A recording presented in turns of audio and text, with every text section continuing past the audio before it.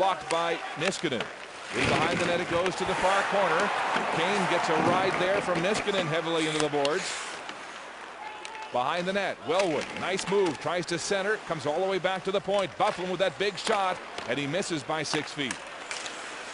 Enstrom takes a high stick in the face, shot right on, score! It was tipped right in on a delayed penalty, and it surprised everybody in the house.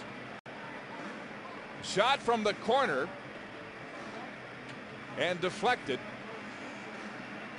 just as Pittsburgh was going to get a high sticking penalty.